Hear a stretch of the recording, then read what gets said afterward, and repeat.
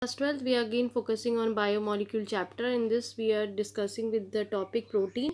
And uh, in protein you must be uh, familiar with this word protein because you must be uh, studying this in this in your biology chapter you know that human body weights is uh, about 15% of the human body weights is protein that you are quite aware of it and this is very important for your um, bodybuilding concept. Protein is also very important.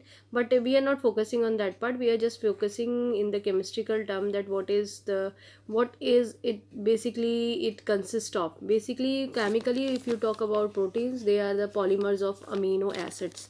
तो chemically ये क्या होते हैं? They are polymers of amino acid so it's mean हमें amino acids के बारे में ज़्यादा डिटेलिंग में डिस्कस करना पड़ेगा and it has basically with molecular mass ranges up to जो इसका होता है करीबन फिफ्टी मिलियन रहता है।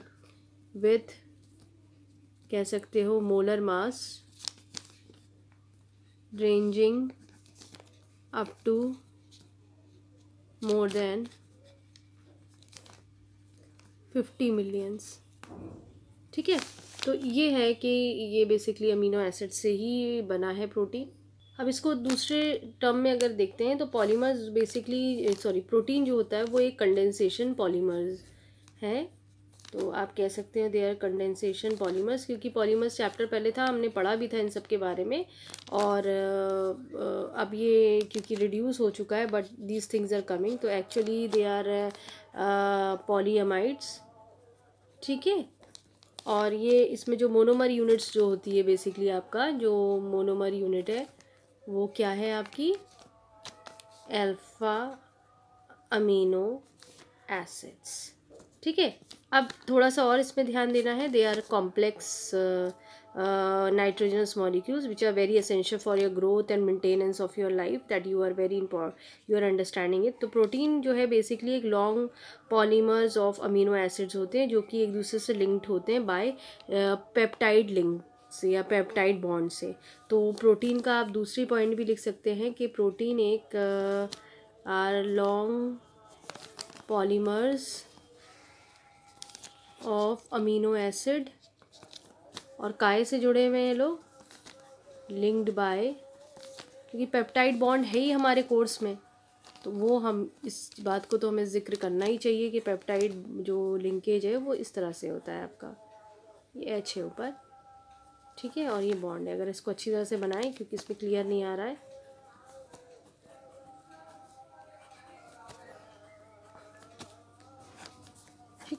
तो ये चीज़ आपको ज़्यादा समझ में आएगी ये आपका पेप्टाइड बॉन्ड्स होते हैं।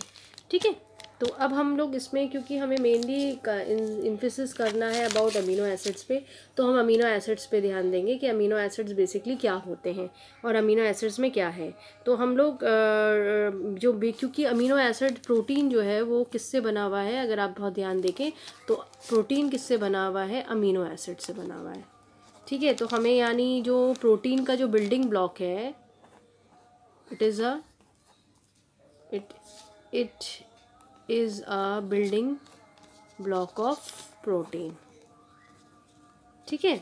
और ज़्यादातर जो ऑल नेचुरल ज़्यादातर नेचुरल अकरिंग होते हैं, इसमें कोई इशू नहीं होता है। और ये जितना भी अमीनो एसिड्स को हम लोग देखते हैं, वो अमीनो एसिड हम अल्फ़ा अमीनो एसिड्स बोलते हैं। अब हम इसको देखेंगे कि हम इनको अल्फ़ा अमीनो एसिड क्यों बोल रहे हैं, उस पर हम ध्यान देंगे। अमीनो एसिड्स में क्या क्या होता है, वो देखना है हमें। अब are talking about alpha amino acid basically क्या होता है, जब जो अल्फ़ा अमीनो एसिड्स होते हैं ना, वो हम जब प्रोटीन का हाइड्रोलिसिस कराते हैं तो हमको अल्फ़ा अमीनो एसिड्स मिलता है। ठीक है? अब ये अल्फ़ा अमीनो एसिड कैसे हैं तो इसमें थोड़ा सा ध्यान देखना कि जो अल्फ़ा अमीनो एसिड होता है, वो क्या क्या रखता है। ये चीज़ इंपॉर्टेंट है ना उसमें क्या कंटेन करेगा। It contains a amino group ठीक है? On the alpha carbon atom. ठीक है? Adjacent to carboxylic group. यानी ये आपको चीज़ें ध्यान देनी है। अब इसको हम और अच्छी से स्ट्रक्चर इंडिकेट करें, क्योंकि ऐसे कुछ समझ में नहीं आता जब इंग्लिश में हम लोग देखते हैं। लेकिन जब हम इसको डायग्रामेटिकली ड्रॉ करते हैं, मैं इसका डायग्राम बना देती हूँ। उसके बाद आपको एक्सप्लेन करूँगी क्या, कौन सी चीज़ क्या है।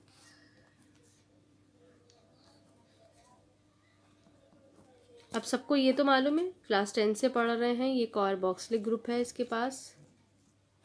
सबको ये भी पता है कि ये एक अल्काइल ग्रुप है बेसिकली अल्काइल ग्रुप ना लिख के इसको साइड ग्रुप लिखो, क्योंकि कुछ भी हो सकता है, ये साइड चेन है आपकी। और जो एक अल्काइल ये हाइड्रोजन आइटम है, इसको लिखने की ज़रूरत भी नहीं है। और ये जो आपका बेसिकली ये चीज़ है, ये आपका एक अमीनो ग्रुप है। अमीनो एसिड है तो अमीनो ग्रुप अब ये जो कार्बन आइटम है बेसिकली ये कौन सा होता है? एल्फा कार्बन आइटम अब आपको पूरा डिस्क्रिप्शन समझ में आ गया अमीनो एसिड का? ठीक है तो अमीनो एसिड में समझिए अल्फ़ा क्यों वर्ड यूज़ करा? क्योंकि कार्बन जो आइटम है, वो अल्फ़ा कार्बन आइटम है। उसी पे आपका एडजस्टेंट में कार्बोक्सिलिक ग्रुप भी अटैच्ड है ऊपर अमीनो ग्रुप भी अटैच्ड है, ठीक है? और यह साइड चेन भी है। नेक्स्ट साइड हम लोग देखेंगे क्लासिफिकेशन ऑफ़ अमीनो एसिड्स तो बेसिकली अमीनो एसिड्स को कैसे क्लासीफाई करा गया it's depending upon the relative number of amino और कार्बोक्सिलिक ग्रुप कैसा है? क्योंकि इसमें तुमने देखा था दो ग्रुप है, या तो अमीनो ग्रुप होता है और अमीनो ग्रुप जो है बेसिकली आपका बेसिक ग्रुप होता है। ये तो सभी को पता है, ठीक है? और कार्बोक्सिलिक ग्रुप जो होता है वो एसिडिक ग्रुप होता है है ना? तो ये दो इनके बेसिस पर डिसाइड करते हैं कि आपकी तीन कैटेगरी आती है। एक होता है एसिडिक दूसरा होता है बेसिक और एक होगा न्यूट्रल अभी नाम से ही पता चल रहा होगा, ऐसा कुछ इश्यूज़ नहीं है इसमें कि आप कब कहेंगे एसिडिक अमीनो एसिड है, वो या बेसिक अमीनो एसिड है। एसिडिक में समझ जाओगे जब कार्बोक्सिलिक ग्रुप ज़्यादा होंगे, ठीक है ना? बेसिक में तब होगा जब अमीनो ग्रुप ज़्यादा होंगे और न्यूट्रल तब होगा जब दोनों बराबर होंगे।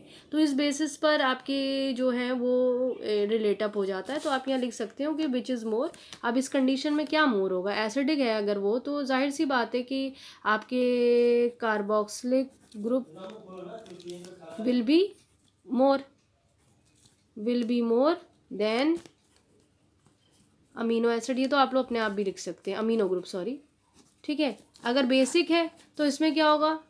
Amino group will be more than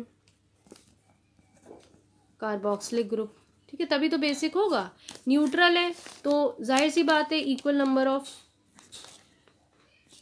equal number of आपके अमीनो एंड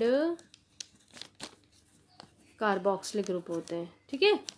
ये दोनों बराबर रहते हैं। तो ये थोड़ा सा ध्यान देने वाली बात है जैसे नाम है वैसे ही हमारा उसका वो रहता है इसमें कोई ऐसा इशू नहीं है। सो so, न्यूट्रल में ज़ाहिर सी बात है जो आपका स्ट्रक्चर है वो दोनों में एक एक चीज़ रहेगी एक आपका आराम से उसमें एच ग्रुप होगा। और एक ही आपका सी ओ एच ग्रुप होगा। तो वो कंडीशन आपकी क्या हो जाएगी? न्यूट्रल अमीनो एसिड्स की हो जाएगी। अब एसिडिक में ज़ाहिर सी बात है भैया कार्बोक्सिलिक ग्रुप जो है, ज़्यादा रहेंगे आपके पास तो वो एसिडिक अमीनो एसिड्स हो जाएगा। और उसमें बेसिक में क्या हो जाएगा? एन एच टू ग्रुप ज़्यादा रहेगा। Okay so this way you can understand it so if you want that now you can see I written three formulas और ये आपका क्वेश्चन है, आपको जज करना है कि इसमें से आपको क्या लगता है कौन एसिड है अमीनो एसिड है, कौन बेसिक अमीनो एसिड है, कौन न्यूट्रल है। Now i think by looking the uh, formulas you can easily judge like this thing if you focus on this part then it is easily you can understand there are two carboxylic groups are there दो COH group है तो ये simple is that it's an acidic amino acid it is basic because NH2 NH2 is been there दो NH2 है एक ही COH दिख रहा है तो NH2 ग्रुप्स की नंबरिंग ज़्यादा है तो ये क्या हो गया आपका बेसिक अमीनो एसिड यहाँ दोनों बराबर है एक COH ग्रुप है एक NH2 ग्रुप है तो ये क्या हो गया आपका न्यूट्रल अमीनो एसिड में आ जाएगा Now children there is one more classification of amino acid and that is essential and non-essential amino acids.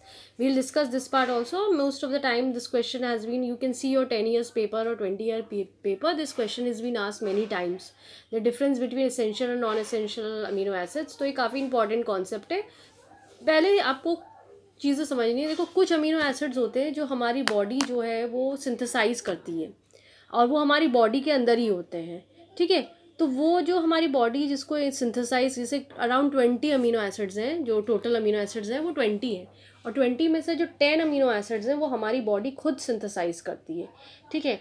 तो मतलब the human body can synthesise ten out of twenty amino acids that is found in the proteins so that is been that is something that amino acids are there and there is another amino acids are also there which you your body can not synthesise that's why you are taking the protein products and from there you are taking up the amino acids are you getting my point like there are certain amino acids your body can synthesise from the protein और कुछ ऐसे amino acids होते हैं जो आपकी body synthesize नहीं कर पाती है। तो आप आपको डाइट लेनी पड़ती है बाहर से सप्लीमेंट्री लेना पड़ता है और तब वो आपको अमीनो एसिड्स मिलते हैं ठीक है? तो वो है वो चीज़ आपको ध्यान देनी है। तो उस बेसिस पे आप अमीनो एसिड्स को दो कैटेगरीज में डिवाइड करते हैं। So so, essential amino acids वो अमीनो एसिड्स होते हैं जो कि हम लोग डाइट में लेते हैं। जब हमारी बॉडी नहीं सिंथेसाइज कर रही है तो हम बाहर के खाना खाते हैं तो उसमें से हमें अमीनो एसिड जो मिलता है वो एसेंशियल अमीनो एसिड्स की कैटेगरी में आता है। और नॉन एसेंशियल वो अमीनो एसिड्स होते हैं जो हमारी बॉडी अपना बना लेती है, वो खुद सिंथेसाइज कर सकती है, वो हमें डाइट से नहीं रिक्वायर्ड होता है। That is your non essential amino acids so तभी तो देखा नहीं है आजकल हम लोग जितना कितना ज़्यादा अमीनो प्रोडक्ट्स जो जो सॉरी प्रोटीन प्रोडक्ट्स होते हैं, हम लोग बाहर से लेते हैं क्योंकि हमारी बॉडी उसको सिंथेसाइज नहीं कर पा रही है ना? हम लोग इतना डे टू डे वर्किंग करते हैं, काम करते हैं तो हमें प्रोटीन की ज़रूरत होती है। तो हमें इसीलिए बाहर से एडिशनल प्रोटीन लेना पड़ता है क्योंकि प्रोटीन के थ्रू हमें क्या मिल रहा है? अमीनो एसिड्स मिल रहे हैं। कुछ तो हमारी बॉडी सिंथेसाइज कर लिए, लेकिन कुछ नहीं कर पाए। तो हमें क्या है? सप्लीमेंट्स की ज़रूरत पड़ती है। So that is the point that it's very important that uh, these two things you have to learn it's essential non essential it's very important so i'm telling you i am showing you the definitions you can learn that part only and you can write down in your answers i think this part is there so you can learn it from the this thing b point say but uh, essential and non-essential amino acids if it's come you can write down the same answers and uh, there are there के sometimes diseases are also caused अगर amino acid site में proper नहीं मिल रहा है आपकी body में तो आपने काफ़ी देखी होंगी ये तो ये डिज़ीज़ होती हैं, उसको भी आप याद कर लीजिए। तो इफ़ इट कम्स तो you can write down your essential and non essential amino acids hopefully you have understand the introductory portion of protein and what are amino acids you are clear up with the different classification of amino acids that is also clear to you all so please learn this portion it's very important देखो protein portion इसमें काफ़ी important है DNA RNA बहुत important है और glucose वगैरह में भी कुछ पोर्शन है कुछ रिएक्शन है काफ़ी इंपॉर्टेंट हैं जो बोर्ड्स में पूछे जाते हैं तो you have to learn that and make sure that it will come in your board examination